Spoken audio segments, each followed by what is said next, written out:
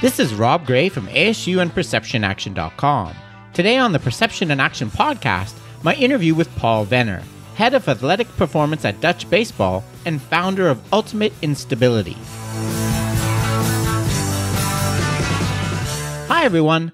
Welcome to the Perception and Action podcast, where I discuss how psychological research can be applied to improving performance, accelerating skill acquisition, and designing technologies. In today's episode, my interview with Paul Venner.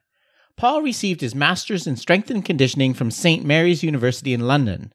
Along with coaching a variety of different sports, he is the founder of Ultimate Instability, which is developing innovative products to add variability to training. In the interview, we discuss the important role of movement variability in training, using water to amplify information about movement, connecting skill acquisition and strength and conditioning through the lens of organismic constraints, and Paul's presentation at the upcoming Florida Baseball Ranch Dutch Baseball Skill Acquisition Summit on September 8th and 9th. Hope you enjoy! Not ten years ago, I was a child. I was a good boy, and you let me go. Now I'm on a talk show, talk show. Okay, today my guest is Paul Venner, head of athletic performance at Dutch Baseball and founder of Ultimate Instability. Thanks for taking some time to talk with me, Paul. Hi, Rob. Thank you for having me on this podcast. Oh, you're welcome. And to start off with, can you tell us a little bit about your background and kind of the career path that you followed to, to where you are now? Uh, yeah, sure. Um, I think it's good for that to tell a little bit of a story about uh, my formative years as a kid. I was always really sportive and uh, doing a lot of different sports. Not really talented, but uh, just really driven and like to train hard. That type of kid. And then around my 12th year, I got involved in track and field. And I really liked this. And uh, also because I wasn't reliable on others and I was fully responsible for my own uh, performance and outcomes. And, uh, but I was uh, training at a really local, small countryside club where I grew up. And we didn't even have a proper track. Mm-hmm. and not even to think about proper coaches. so there were just some fanatic parents and I actually ended up like coaching myself at a young age and uh, being around like figuring out stuff myself experimenting and intuitively looking back at it i was actually applying like differential learning and uh, applying chaos and like a lot of variation into my training and then uh, i got selected for a regional training group uh, and i got a chance to train really good athletes uh, even olympians and i made a lot of progress and I grew physically uh, I was about 15, 17 around that time. But even though I had really good numbers on all the lifts and performance outcomes, uh, performance tests, uh, I could never really transfer it into the actual sport performance. And in particular, uh, during a, really important event, such as the national championship or something. So this really drew my interest into the concept of transfer training. And it was a really logical choice for me to study at the sports and human movement. Mm-hmm. And this is actually where I uh, met Franz Bosch, and he had some really interesting ideas that, yeah, made me figure and really sparked some things and uh, really resonated with my own experiences in practice. Like because basically, what I've done as a as a kid intuitively without a coach probably made more sense than some of the aspects that I was doing uh, when I started listening to a coach.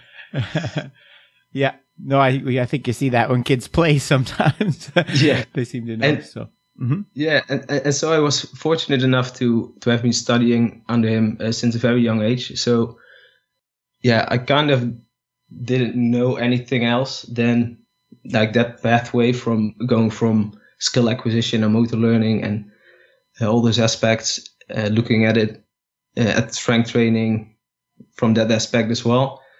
And then I had a stu- the opportunity to uh, study at the Olympic Institute uh, in Sydney, Australia, uh, within strength and conditioning. And and I started out with looking at the concepts of uh, how to train the hamstrings uh, in the national female soccer training uh, a team for sprint performance. Uh, this was really this was a dream coming true, like a Valhalla of sports, working in the strength conditioning, uh, all the equipments available and measurement tools and I really had an awesome time. But here I also noticed like the paradigm of the more traditional strength and conditioning. And it made me wonder uh, with a question of uh, why are we actually moving so fixed and unpredictable in the strength room with fixed exercises, mm-hmm. fixed sets and reps, while real life situation that is actually cru- crucial for uh, performance or health is often like suddenly unpredictable and unexpected. Mm-hmm.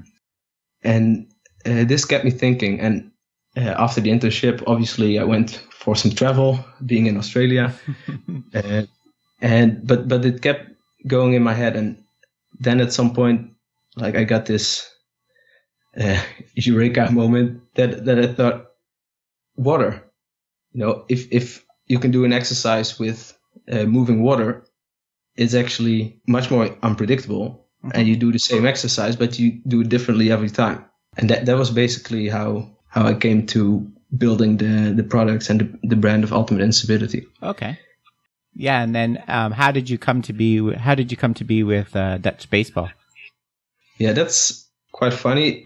like at, at, at, the same time as uh, when I got back in the Netherlands and I started uh, developing those ideas and uh, products. Obviously, I also needed uh, money to make. Uh, because uh, yeah, starting a, a, business doesn't only cost money.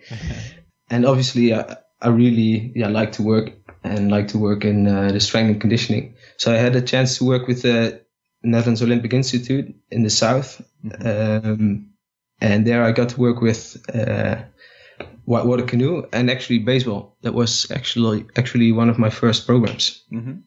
So I, I got involved since 2010 and there also actually I I first met uh, uh Bart and uh, Martijn who are also gonna present at the, at the summit, mm-hmm. and yeah from there from the small academy later I got asked to do work with the the youth national team and then with the national and well that kept on going and then since almost three years I'm doing full time yeah working with uh, the Netherlands baseball and softball.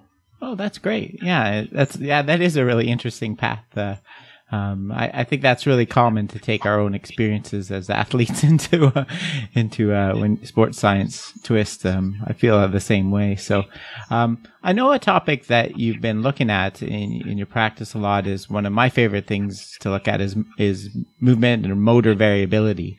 Uh, can you tell us a bit about what you've been doing with that and how you deal with that in, in strength and conditioning?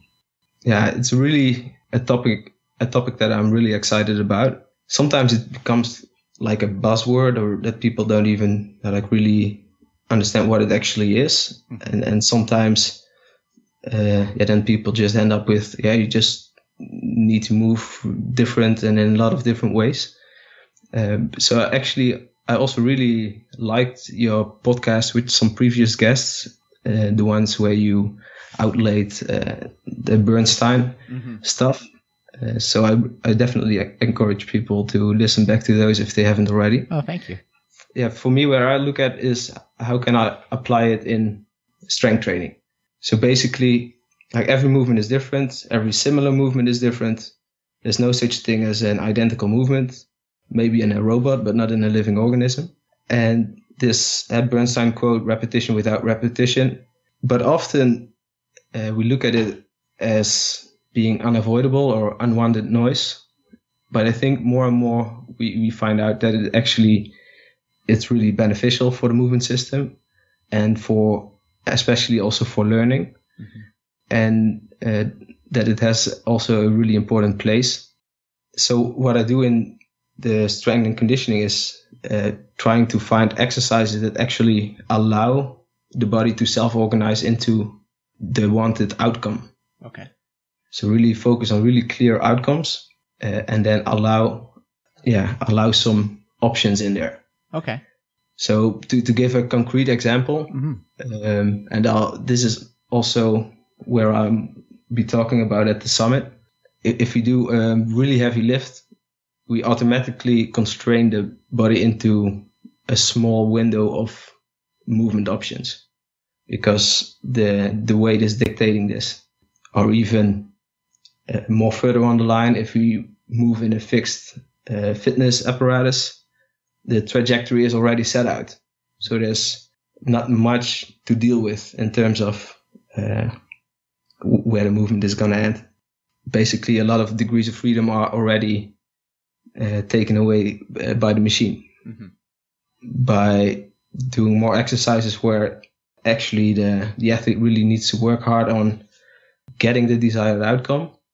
Uh, I think that's that's really beneficial. Yeah, no, that makes a lot of sense. So, is it just trying to to you mentioned using water? What are some of the other ways that you try to to do that, encourage variability? It can be through using different targets. Mm-hmm. Let's say with the with the water, for example, mm-hmm. if you normally do a, a clean with a, a fixed barbell, mm-hmm. there is there is some information, but particularly in someone who's starting to learn, you the the obvious way to go is to just take a lighter bar or even a broomstick, but actually you take away all, all the information that normally the weight is providing for the lift, mm-hmm. and then you see people doing these artificial movements that are actually not really coming from the constraints that are on the task. Okay. Now, if you do a clean with a aqua bag and you have the water moving, you actually get more information. Like your left arm is pulling harder than your right arm. You're gonna notice this straight away because the water amplifies uh, the effect, and and this creates an unpredictable water flow, uh, the inertia that you need to to act on. So this way, you get more information in in the the movement you're actually doing. No, no, that's really nice. Yeah, I think that's kind of an underused technique, kind of the amplification, uh, even error amplification. Where I know another one that I've been talking about with people that that we use sometimes in baseballs, like when you have people swing with a really flexible shaft. Um, in golf, sometimes we do that too, where it, if you're out, you're you're snapping your wrist or anything, it really you'll really see it and feel it. Yeah, um, exactly. Yeah, so I think that that's a really nice technique. Yeah. Yeah, mm-hmm. and so we I, I, use a lot of unexpected perturbations and uncertainty. Um, so even with a, a fixed exercise, by uh, having some variations in there, uh, the the person uh, needs to adapt all the time instead of just going through through the motion or through the the, the fixed uh, task. The other one of the other things I wanted to ask you about was your master's thesis um, that you did uh, looking at a, a constraints-led approach for baseball hitting. So, can you tell us a little bit about what you did there? Yeah, sure. Mm-hmm. Yeah, within this constraint led approach, I think there's a lot of attention for different ways to manipulate uh, the task or environmental constraints. Also, a lot of research in those areas. However, the organismic constraints, they are often like taken for granted or they are, I think, often overlooked as a really strong potential steering mechanism for this uh, motor output. And even though I, I've read in some early work about fatigue is being mentioned as an organismic constraint. I, I don't think it ever really got the attention that it, it potentially deserves. Franz Bosch describes some in, in his book, but yeah, I really like to to test it out and see how we can apply it in practice. So the basic idea is uh, if, you do fit, the same task uh, with the same environmental constraints, uh, but you pre-fatigue the body, you dealing with a different body every time you you do the task, and this uh, challenges the body to explore different solutions. Uh, so basically, we set up one group who did a, a 45 minute hitting skill session with external focus cons- constraint led approach. And afterwards they did their 45 minute strength session, and the other group did a combined session of 90 minutes, uh, where they did exactly the same exercises, sets and reps. Only every time, right before they did their hitting drill, they had to perform a strength exercise. Uh, and, and, that could be like a single leg squat or a dumbbell row or a push up or jumps or sprints or whatever. And what we found after the six week period was that we saw an improvement in their bat speed uh, measured by time from heel contact to estimated ball contact in both groups, but significant, significantly more in the mixed group. And also after a four week retention period, the improvements became even bigger, Okay. where the other group maintained uh, their current level. Of course, there were some limitations to the study, and there were some unfortunate dropouts that, that caused the, the, the power to, to drop. Mhm. But the findings and also just the, the practical, uh, what I saw and the reactions I saw with the athletes and that I observed really made me enthusiastic about this concept. Yeah, no, no, I, I agree with you completely. The that we kind of have not done enough on the organismic side of constraints, and I'm always saying that this is how skill S and C can connect with skill acquisition better. You know, because they can they can directly you can directly influence skill acquisition by changing the constraints there. So, so was your was your argument that you know by doing this you get to kind of learn to adapt to changes in your own constraints? Your through through doing the strength training with the hitting together. Yeah, I, I think there are a few interesting things. Um I think you might yeah improve the exploration within the movement to succeed.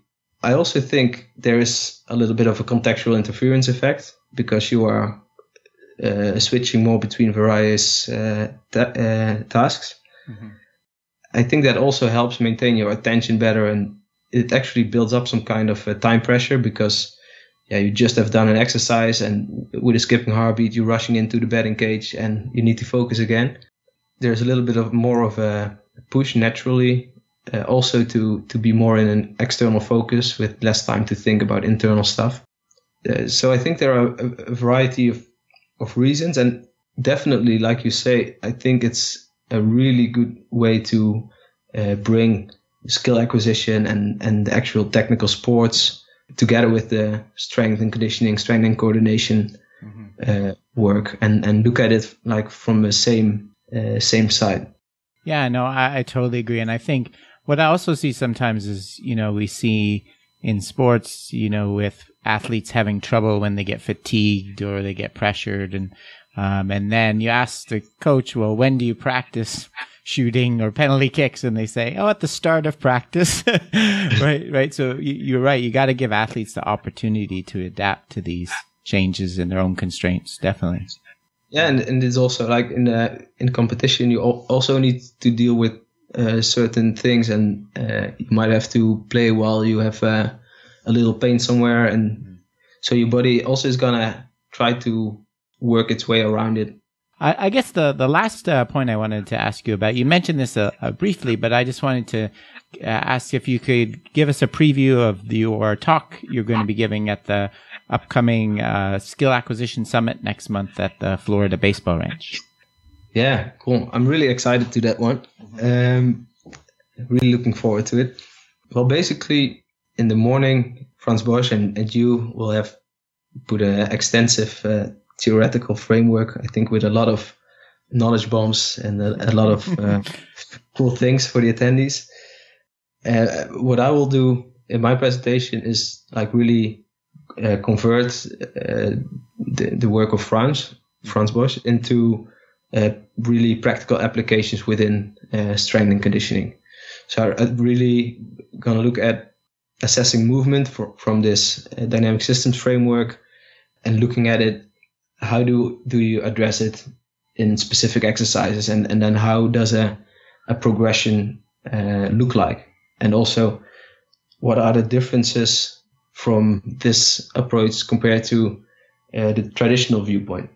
So and and where does this clash and, and where is there uh, uh, overlap? Yeah, that sounds good. And then, then um, I get I don't know quite what I'm doing for this either. So you might, but on the Sunday, are you going to kind of do uh, more hands-on, showing some of the exercises you do and things like that for Sunday sessions? Cool. Yeah. So within the presentation, yeah, I've got some more time to elaborate on certain exercises and, and how you build them up and, and why. And I also go into some of the like key principles behind the exercises and like behind movement. W- with the Sunday uh, practical, uh, yeah, we got a chance to really put it into practice and uh, show it, and also like with the small individual details that are playing. Uh, and I'm really happy with that setup because uh, normally there's there's no no time for that, mm-hmm. like to put it in that way, and too often I see people uh, ending up with uh, just throwing a lot of new exercises on their athletes. I'd really like to show how you can make it also really individual. So from this movement assessment, you can really look at what does a particular athlete actually need to work on and how do you then work on that and how do you coach it uh, through the constraint led approach instead of uh, just telling uh, that they need to bend their arm or mm-hmm. some internal cue. Ah, well, that, that sounds really great. I look forward to, to hearing your talk. And uh, this has been great, Paul. Thanks for taking some time to talk with me. Yeah, thank you. And uh, looking forward to meeting in real life in a few weeks. Yes, definitely. Thanks again for the great discussion, Paul.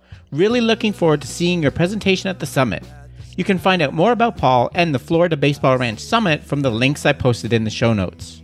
Remember, you can contact me at robgray at asu.edu or follow me on Twitter at ShakyWeights. To find out more about the podcast, please check out perceptionaction.com. Finally, to support the podcast and receive bonus materials, including transcripts and an extra monthly episode, please head over to patreon.com forward slash perception action. This is Rob Gray from ASU. Cheers for now and keep them coupled. If tears were liquor